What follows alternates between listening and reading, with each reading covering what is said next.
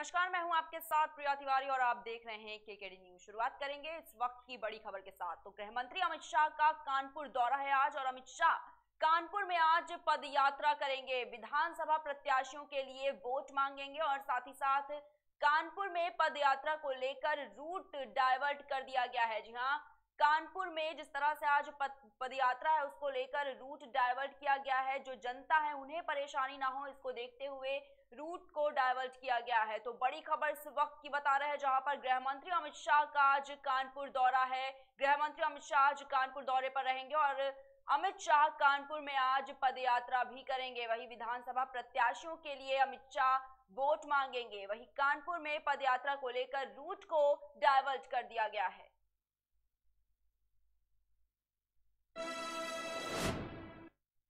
CM Yogi Adityanath का आज फिरोजाबाद दौरा है। आज दोपहर करीब 12 बजे सिरसागंज में जनसभा को सीएम योगी आदित्यनाथ संबोधित करेंगे। वहीं करीब दोपहर के एक बजे बचगांव में सीएम जनसभा को संबोधित करेंगे। तो बड़ी खबर इस वक्त की आपको बता रहे हैं, जहाँ पर सीएम योगी आदित्यनाथ आज फिरोजाबाद के दौरे पर रहेंगे। करीब 12 बजे सीएम योगी आदित्यनाथ सिरसागंज में जनसभा को संबोधित करेंगे। वहीं एक बजे के करीब बचगांव में सीएम जनसभा को संबोधित करेंगे।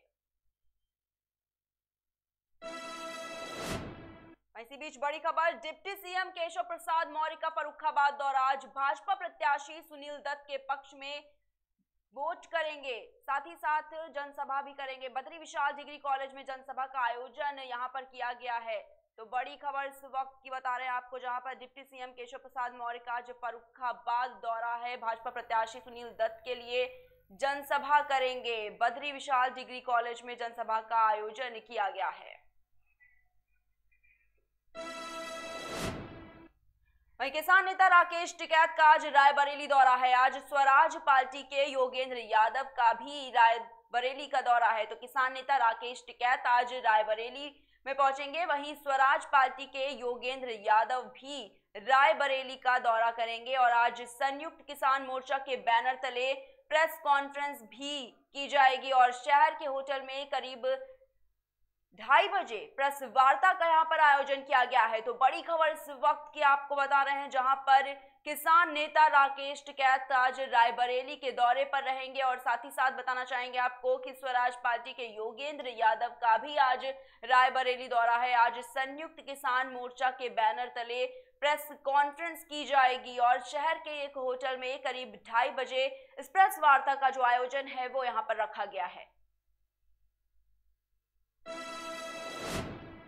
वहीं सीतापुर से इस वक्त की बड़ी खबर सामने आ रही है। सीतापुर से बड़ी खबर है ये यहाँ, जहाँ पर सड़क हादसे में चार लोगों की मौत हो गई है। जी हाँ अनियंत्रित ट्रक ने बाइक सवारों को कुचल दिया है और बाइक सवार चार लोगों की मौके पर ही दर्दनाक मौत हो गई है।